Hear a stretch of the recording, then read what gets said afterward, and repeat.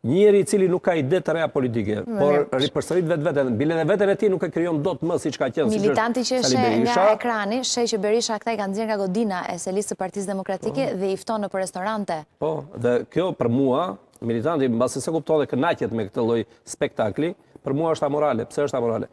Se Berisha është nga ta të paktën që ka dëshmuar, siç është dhe ky rasti konkret, mhm. Që atë, për, për ajo që për Berishën është, sot është imorale, nesër mund të jetë morale. Ajo që për të është morale, është imorale. Dhe politika, në politikë, në biznes edhe mund të ecësh pa, morale, pa moralen. Por në politikë nuk mundet, sepse është, karta morale është ajo që krijon urën e bashkëpunimit të besueshmërisë me atë që të voton, me po. votuesin.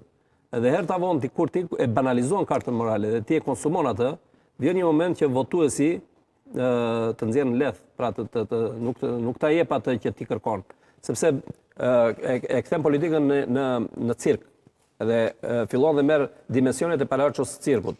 Prandaj ë duhet të keni një gjë parasysh. Nëse nuk ka koherencë mm -hmm.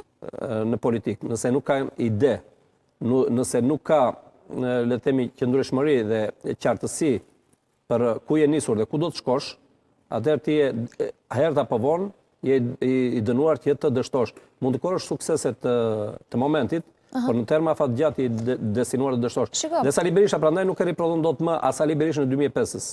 Se Sali Berisha nuk prodhon dot më ide, nuk ka ide. Sali Berisha nuk ka konsistencë në në në në gjërat që thotë. Në dhe në aksionet politike që premton. Për shembull, doli dhe u premtoi militantëve që po të rrëzojmë Lul Bashën, të heqim pengkryetarin,